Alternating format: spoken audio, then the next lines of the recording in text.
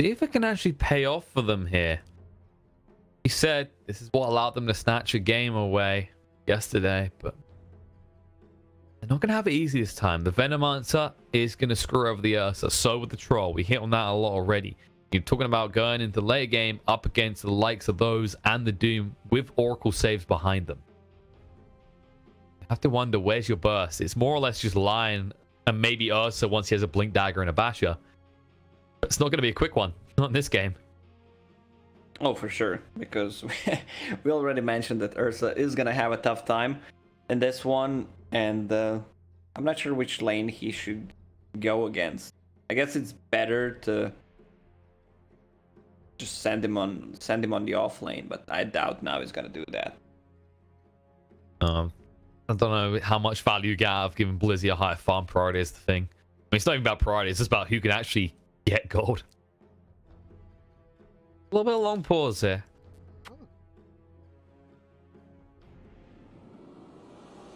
Down the way. So, game three, everything to play for. Both teams showing a dominant display in different games. It's going to come down to this. Can Na'Vi match a game with this Medusa pick? Or will it just be the Ursa crying in a corner as he runs around, never able to catch any kills? You can always rely on Medusa. I think they had Ursa in that game as well, didn't they?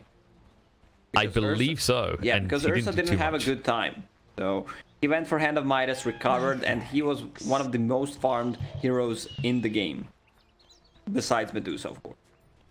So you're just a giant distraction is the takeaway lesson here. Worst case scenario, they piled too many resources on you and Medusa's just left to her own devices. They were on dire side. I remember now. They were in dire side that game and Magical was completely unpressured.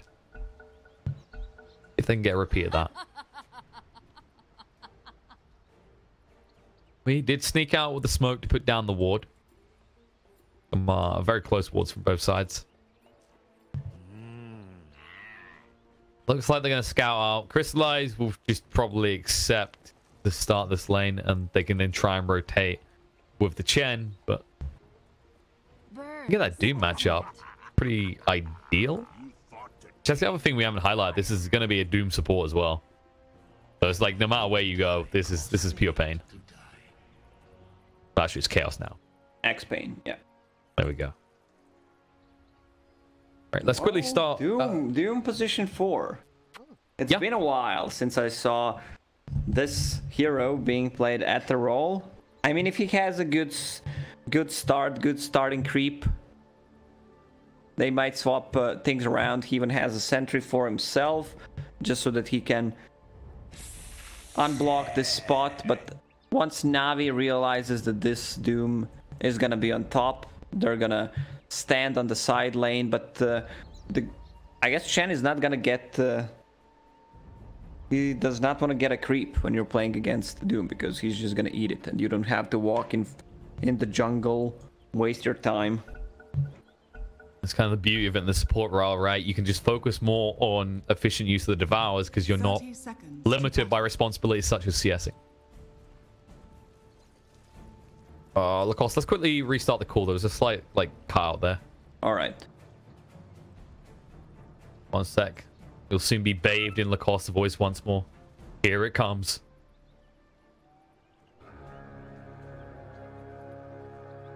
All right.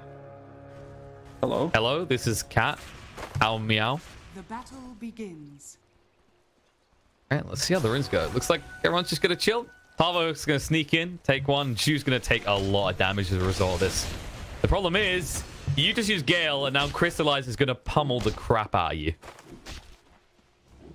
Too much damage thanks to King's block coming in in the end. He will move across and grab the rune as well in time. All in all, not too bad of a trade. Decent damage done onto Chu, but a lot done onto Tavo as well. I think you happily take that trade and damage if you're Navi. You're not so happy about the runes. Yeah, it's it's all good. Let's see how that bottom lane goes. Oracle securing the last hit on that range creep. Done. Crystallize is going to be just CSing on the tower. You'll see Tavo just drag it back to the creep wave. So he's going to keep decent control. Equilibrium should favor Chaos here. Misery. All right, he came to the side camp first. That's gonna be some extra armor, three to be exact. We said he, you know, is a hero that suffers due to no armor. He's fixing that. Maybe not ideal. Maybe the second best creep he could have got in this scenario, actually. The best one, for sure, is the Hadouken one. More HP regen. You basically don't need to spend uh, any kind of regen, especially for your uh, carry and the extra kill potential with it. It's just too good. Definitely looks like he was hoping to find that, as you can see from the limited amount of tangos he brought out. Wouldn't be so lucky though. Now he's playing the bottom lane correctly. They do not want to fight. They're just uh, pulling it. Ursa's getting uh, levels. It's pretty impossible for them to try to engage into a fight. But with the creep equilibrium, they could actually try to grab a kill. But Venomancer now has boots of speed, so it's not going to be that easy. If Oracle is found in a bad spot, they might engage on him, especially when Lion hits level 2 with the Earth Spike and Hex. Definitely possibility. Uh, especially seeing his Crystallize is already at level 3. So the damage does stack up pretty quickly now. Blizzy, meanwhile, the top lane, should be able to sustain pretty easily. Clap's going to come out, moving on to HFN, and the damage being done with the Mana Burn coming out. Chain Lightning, rather, actually doing a lot of damage. HFN getting pretty low, but the mischance comes into effect. Then Misery, well, now he'll start spamming the Chain Lightnings. Start the salve up. Nice little plays coming out from SoNNeikO there. Not able to secure the kill in the end though. And HFN, there is a problem here. You may notice a lack of regen between the two of them. They need to use the courier, but it was being used on a mid. It's gonna be flying courier in a couple of seconds, so they should bring more regen to the top lane. In fact, the mid might need, yeah, mid needs to score again. Look at Wee's health. They're not getting it anytime soon, and this should be something Navi clock onto pretty quick. Especially with the way they're positioning. Despite that, though, HFN is top of the CS chart right now. Yeah, because he's using his time not to regen up to use those tangos. Instead, he's just uh, using time efficiently for farming. A lot of damage on the Chu here. They aren't looking to Gale the Ursa at all. They just want to get rid of Lion completely.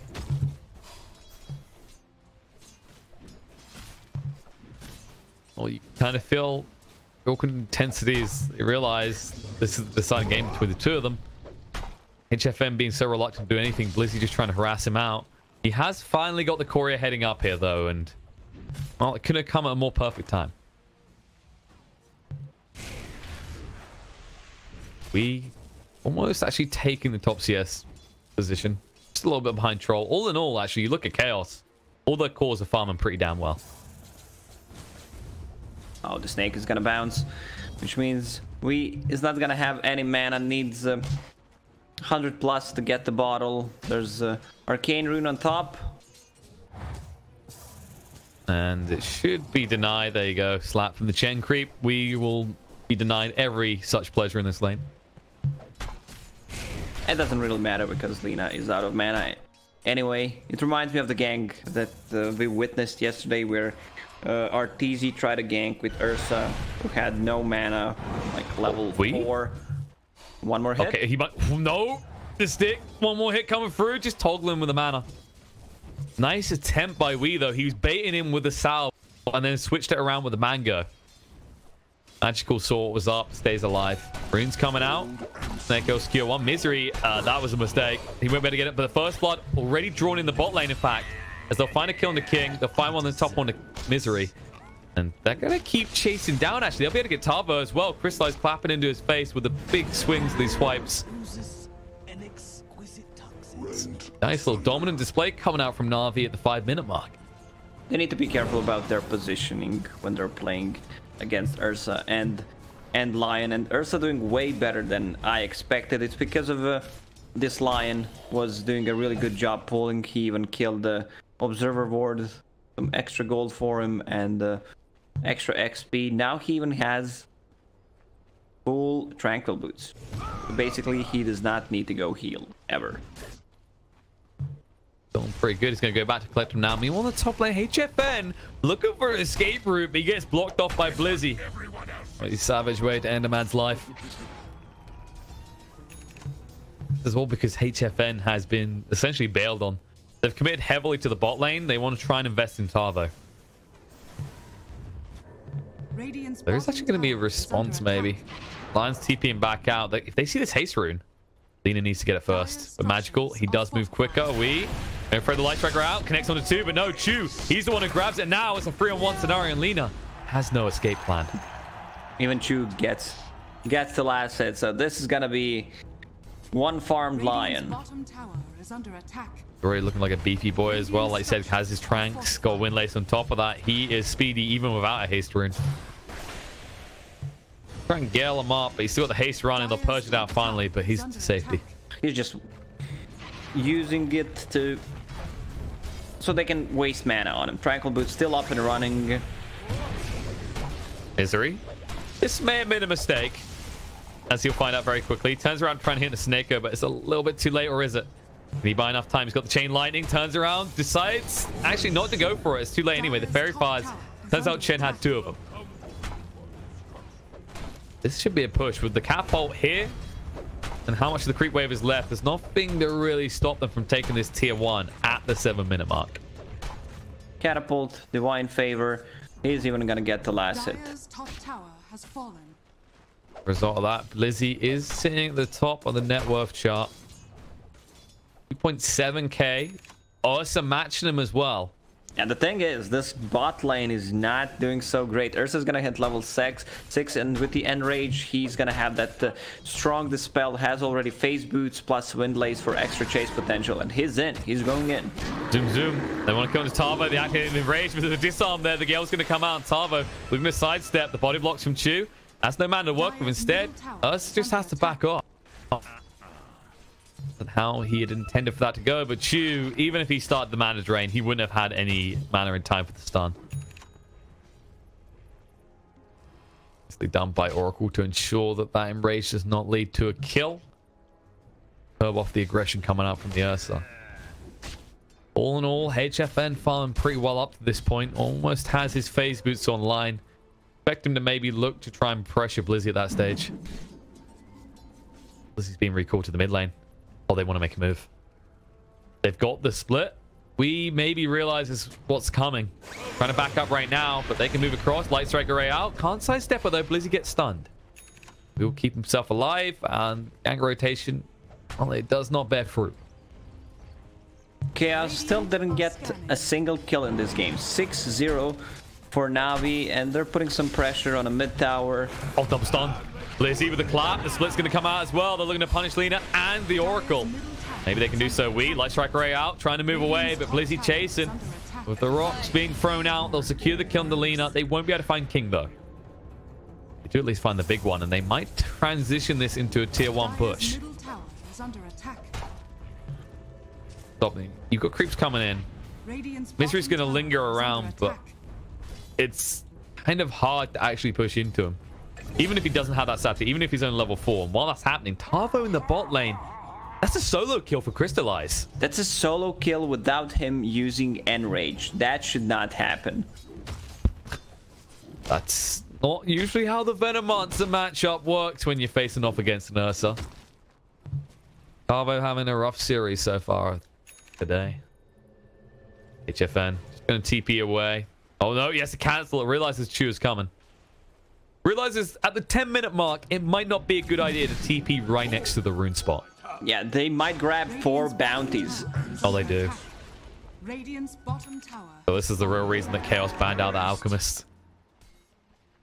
In case this happened. Avi, they want to pressure more. They've got a haste rune and crystallize. Going to move him right now. They'll purge him off though. They better back away. They just need to heal him up a little bit. They want to push in now that they've got the catapult, double catapult in fact, courtesy of Taneko playing the Chen.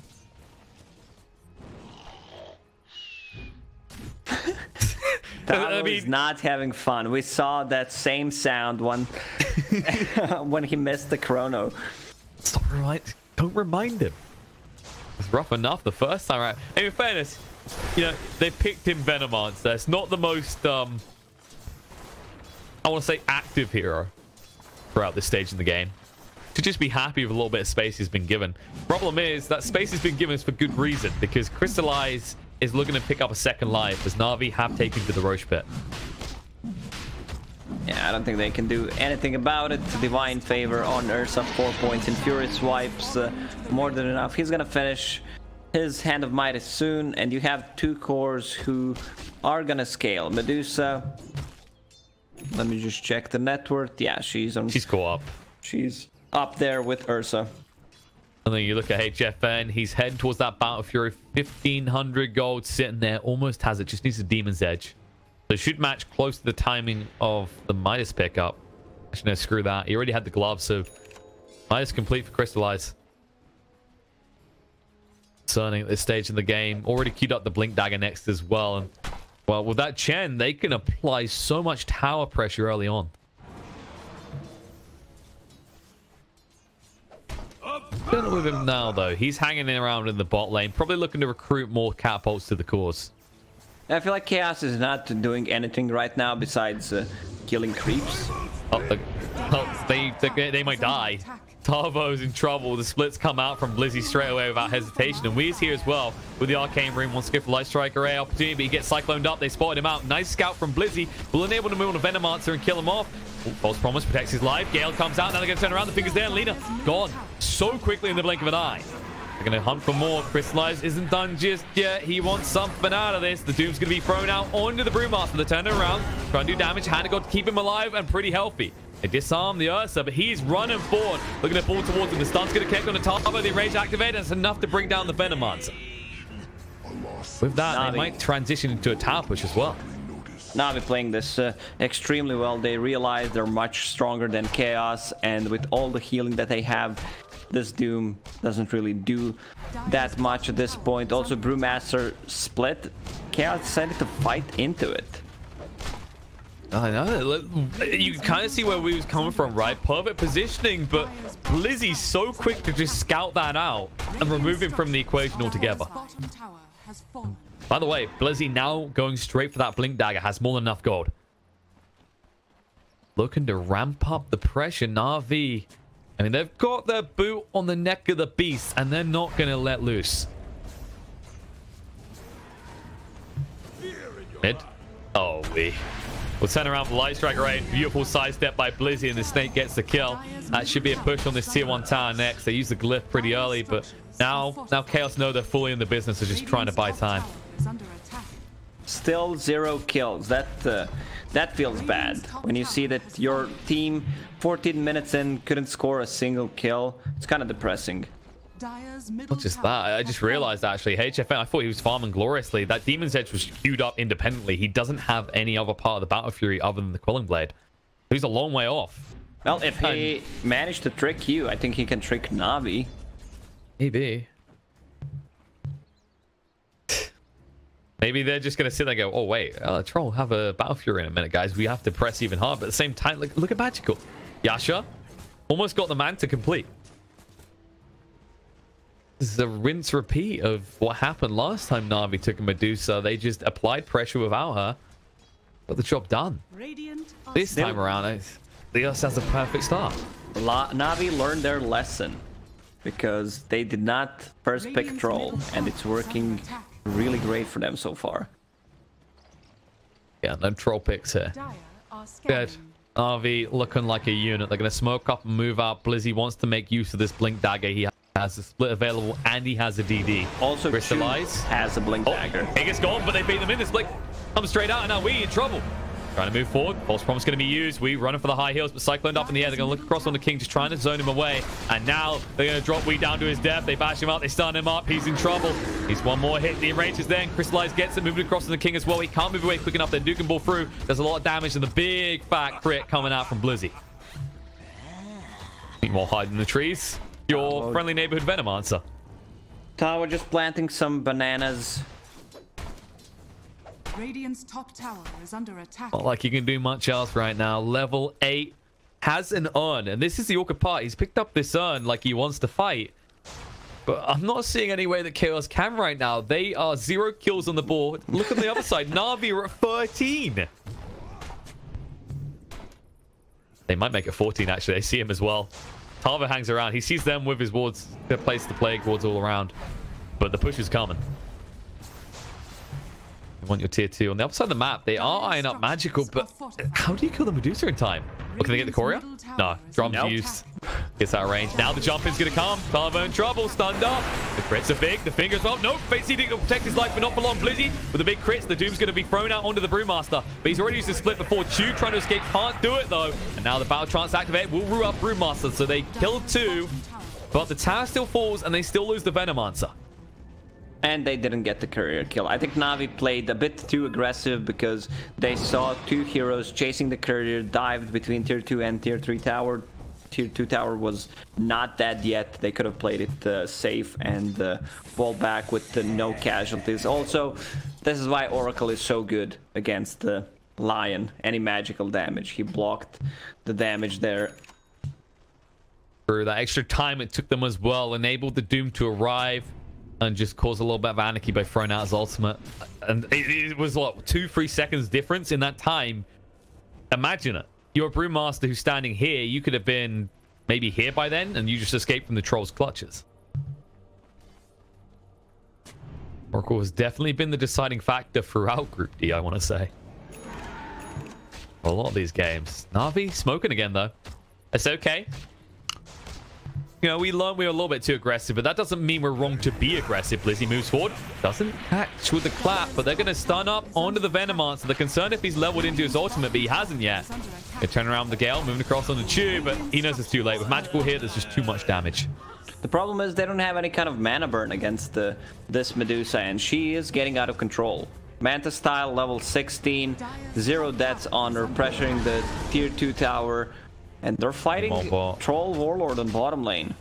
Yeah, he's in trouble. Hey, Jeff Ben, the one who's meant to fight up against this Medusa layer, can't do anything right now. Just goes down, doesn't even get a chance to use the Battle Trance. Meanwhile, on top lane, they force out the Stone Gaze, but you're just running away. You, you can't fight into it. As you said, no mana burn, not enough damage. This is getting very, very concerning for Chaos. Chaos has a full greedy item belt. Troll with Battle Fury, Doom with Hand of Midas. They want to keep playing this game for the next 20 minutes and then their items are gonna start showing in the inventory. It's a matter of whether Navi can push in those 20 minutes. You know, you got the Chen, you get you up on the ground early. You've got this Ursa for easy Rosh taking. And that's probably when Navi's going to try and move towards the high ground, right? With the second Rosh. Yeah, this is a timing that a lot of teams play around. Especially when you have Ursa in a team, or if you have an early Vlad, so you just take the Rosh and uh, it opens up the second Rosh fast enough. And then, like you see, 5000 network advantage already for Navi. They don't have like the best vision right now. They can see them uh, a bit of their triangle where Venomancer is farming and uh, the second shrine as well, so they can push these tier 2 towers without uh, them being afraid of uh, rotating from the back. So this should also be spotted tower has fallen. by that uh, shrine ward. The smoke. Gonna try and move across now. Chaos need to respond to this. They're running out of towers that will protect their base, and Dyer's Magical's gonna poke at the high ground. under. Got that Alpha Wolf with him as well. tower is under attack. Forced to be reckoned with. Crystallize, ready with the Blink Dagger to just initiate. Divine Favor plus Alpha Wolf, 300 damage Medusa. Casually. Radiant casual. are scanning. Half the damage done to the tier 3 tower already. They'll back away. Rosh is going to respawn in a minute and a half. They want to see if it's available now. I'll be disappointed. That gives them time to take control of the bot lane, because this is the thing. They want that pushed out, right? So there's no reason to come down here when Rosh is occurring.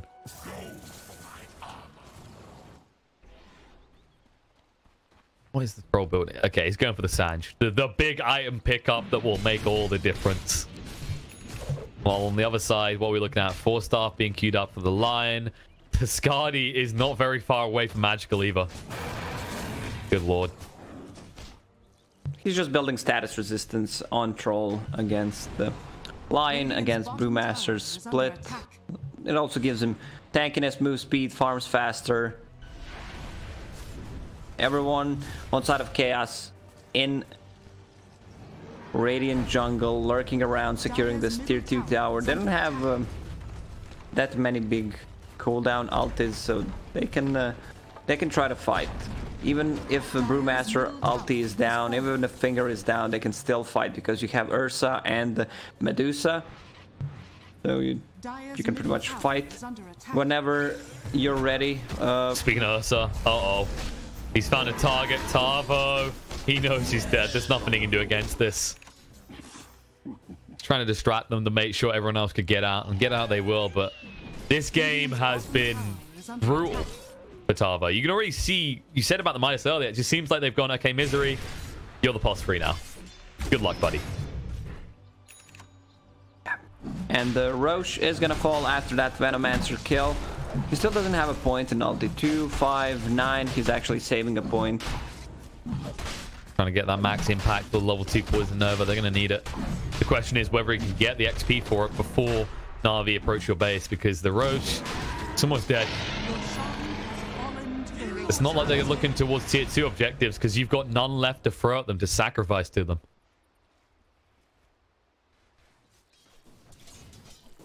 Guardian now online. Crystallize.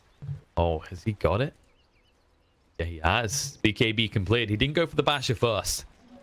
It's one of those games where one team doesn't play to win. You can feel that Chaos is not doing anything at the moment. They're not smoking, they're just killing creeps. Actually playing uh, not a MOBA, a survival game right now.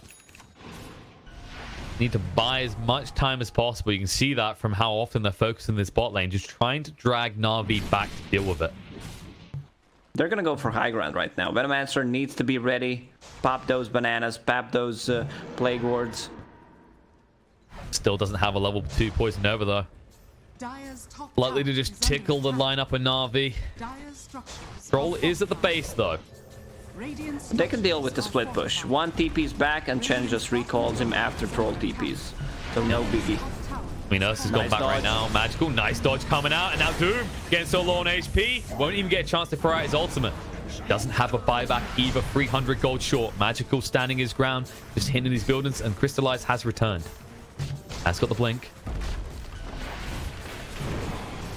Awkward scenario is they've only got halfway through the Medusa's mana pool. And look at that. Just gets it back. Now jumping in. Not going to slow people down. Euls onto the Brewmaster. Gets sidestepped though. Doesn't hit the Light Strike array. Gonna be one lane down. I'm not sure if Navi have satiated the hunger though. The mid lane is uh, being pushed, but uh, it feels like they understand how much stronger they are right now, and uh, they want to finish this game. Bottom lane is going to be pushed by Brewmaster, will be recalled by Chen, and uh, they, they're going to fight. Age is still up and running for the next uh, almost three minutes. Radiant are scanning. Plenty of time to work with, and that suggests that Chaos's base does not have much of that left. Time, soon life. You can already see the queue up coming out from Troll. He hasn't gone for that BKB build. He's fully in on the idea of the status resistance, but Titanic is not a cheap item, and you're not going to get the time to farm it here. They're going to go for the backstab. This this is the big do or die play for Chaos. Problem is, you have to find that squishy, vulnerable underside of Navi's lineup. It can't be the Medusa. It can't be the Ursa. And they got spotted. And they know about it. Pings are coming out. Magical stand on the high ground. Nice man dodge out again. They jump in with the Doom being thrown out onto the Ursa. Trying to throw him up. Miz getting pretty low. Stun through onto two. Stone Gaze's been activated. They're trying to get rid of the Medusa, but they can't. They have to deal with it right now. False Promise comes out to Troll to keep him alive. And it will do exactly that. But for how long? They're running weed down, getting him low. Already got rid of the Oracle. HFN running towards his fountain. Needs to heal up. Buyback's going to come up for Venomancer. And Navi, they don't even know what casualties are. They move in. They are going to make sure that Chaos pay a price for their attempted backstab. And that price might, in fact, just be the game. Let me tell you a story. Navi is back. Like Chaos can't call this game because they have nothing else to do. Doom is used. Look at HFN. He's having fun. He's just playing a few games of Crystallize. A little bit of Kiss Chase. Going to turn around. Rage's going to come out though, and HFN. Uh-oh. This might not go well for him. He needs to back it away. Meanwhile, on the base, there's going to be a kill on the Wee. GG comes out. They know it's over. Chaos lose to Navi. Navi take it 2-1. And still HFN, there we go. He gets gets him. Just in time. Good performance by Navi. I feel like uh, Chaos did the same kind of a thing in the in